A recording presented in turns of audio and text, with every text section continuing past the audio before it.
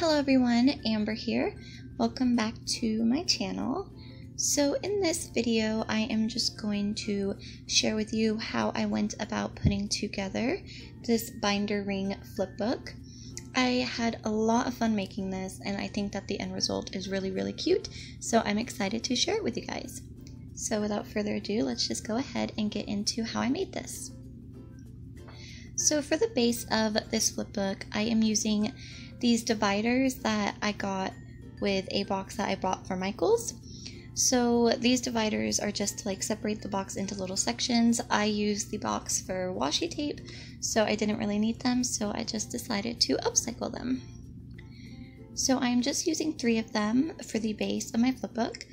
And the first thing I'm going to do is cover both the front and the back of them with some scrapbook paper. This paper pad I got from Michaels. It's called Garden Party, and I absolutely love it. I'd actually gone to Michaels that day to look for uh, some hot buy paper pads, but this one caught my eye and it wasn't on sale. It wasn't a hot buy. It was $20, but I loved it so much I just used a coupon and got it for 10 instead of 20. So um, it was a great find and I really, really like it. Um, that yellow polka dot paper is probably my favorite. Um, besides purple, yellow is my favorite color, and polka dots is such a cute pattern. So one thing that concerned me about these dividers is that the surface of them is really slick. So going into this project, I was kind of worried about how the paper would adhere to the dividers themselves, but um, the glue stick I used held up pretty well and everything worked out fine. So I'm just using my scoring tool to smooth that down nicely. I love using my scoring tool to um, adhere paper to my projects just because it works so well. It gets in all those little places that you might normally miss. And yeah. So I did have a little bit of difficulty with my camera while I was filming this. Um, the camera just kept shutting off and then when I finally went to edit this video, I noticed that some footage was missing. So uh, you didn't get to see me make the envelopes, but I just used my We Are Memory Keepers punch board. And I believe these envelopes measure 3 inches by 4 inches. So yeah, I'm just going to add those into my flip book. But to do that, I first need to punch some holes. So to make sure that all of my punched holes are equal, I am just using that first one on that divider that I punched to trace where the other holes on each other part of the flipbook should go, if that makes sense. I'm terrible at explaining things. So I'm just going to punch all those holes, and I also punch holes into the envelopes because I'm also going to hook those in with a binder ring. So to do that, I just once again measured with that first hole that I punched. So when you're adding envelopes to a flip book like this, what you want to make sure of is that the punched hole is not going to interconnect with that top flap of the envelope that opens and closes because if you do the binder ring is going to slip through there and then you won't be able to open the envelope without having to completely take the envelope off the binder ring. So just be aware of that when you're putting that together. Also, another thing that my camera cut out, unfortunately, was me making those little hole reinforcers. I finally got a 5 8 inch circle punch, and I was really excited to make those, and the camera cut it out. So I just did that, and then I put it all in order of how I wanted it, and went ahead and hooked the binder ring around it. So now it's just time for decorating. Um, those flowers there are cut out. I fussy cut them out of a sheet of paper I got from Michaels. I had actually bought four or five of that sheet just because I knew I was going to be fussy cutting the flowers out. I just love them so much. So I just glued those down um, to keep with the whole like garden tea party theme of this flip book.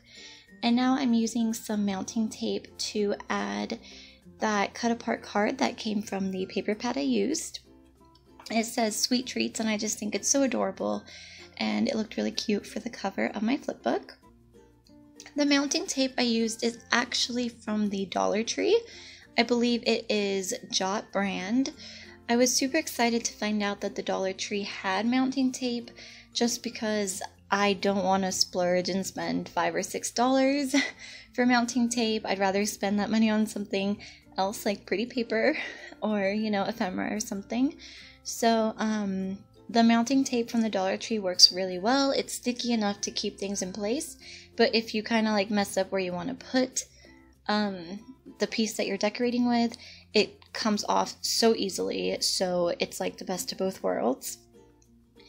So I really wanted to use that little pink piece of ephemera behind the main focus um, of the front cover, which is that cut apart card, but it just wasn't working well, so I just used the little blue piece of ephemera that I had also fussy cut out of a, a scrapbook paper. And I just, um, you know, put that down.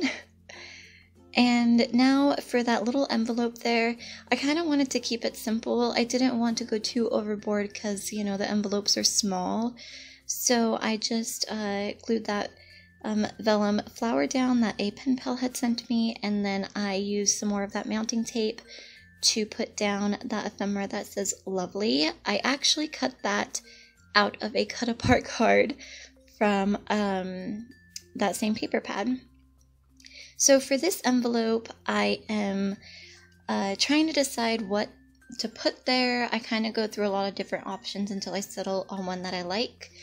Also, I apologize if at some points throughout this video the flipbook itself is kind of cut off. I seem to have terrible spatial awareness. Um, yeah.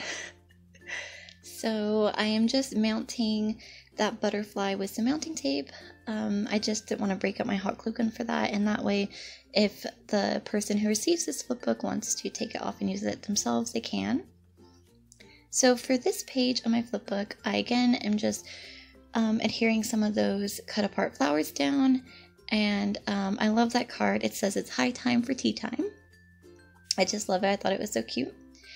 And for the back of that envelope there, I just put a little ephemera that says hello, and then I am adhering my envelopes shut with some Velcro, which is also from the Dollar Tree. so, um, yeah. Now, for this pink page in the flip book, I wanted to make a pocket and I didn't quite measure it out properly, so I did end up having to use a pencil to mark where I was going to have to score. But it worked out perfect, came out perfectly even, which I was really happy about. So I'm just scoring on either sides and about half an inch on the bottom, cutting out the corners on both sides, folding it up, and then I'm going to adhere it to the page. So this paper that I'm using is kind of thick. Um, it didn't want to stick down initially, so I kind of had to work with it a little bit. I also used um, my circle punch to make a little indentation on the pocket to make it kind of stand out a little bit more. Now with this pocket, I also went through a whole bunch of different ways to decorate it, and I kind of just edited that out of the video, um, otherwise it, the video would have been so long. So yeah, I just put a flower and then this little piece of ephemera that says hashtag boss. I got that from a swap partner and I thought it looked so cute and matched the theme of the flip book. And for the back of this envelope, I'm just adhering a heart. And for this page, I am using a um, clear bag um, I got this clear bag from um, a craft supply that I got. I just used the bag that it came in. And um, I had originally going, I was going to use it for a different craft project, but I didn't. So I just cut um, a piece of paper from this paper pad to match and slipped it inside. And I'll fill it up with goodies at a later time when I know who this is going to, um, so I can, you know, stuff it with stuff that they'll like. So yeah, I'm just taking some pink fringe that I got from the Target dollar spot when they did their sale um, a few weeks back. And I just uh, adhered that to the top of that little clear bag with some double-sided tape. and I'm just going to clip that to that page with a paper clip. And I couldn't really decide how I wanted to decorate the rest of this page. Um, I didn't want it to appear like too clunky or anything, so I spent quite a bit of time thinking about what to do with it. Um, but eventually I just decided to um, add a little butterfly to the corner there with some mounting tape. So, you know, the person who receives this can use it themselves if they want. And I also thought it added just a little bit of flair, like just enough to complete the page.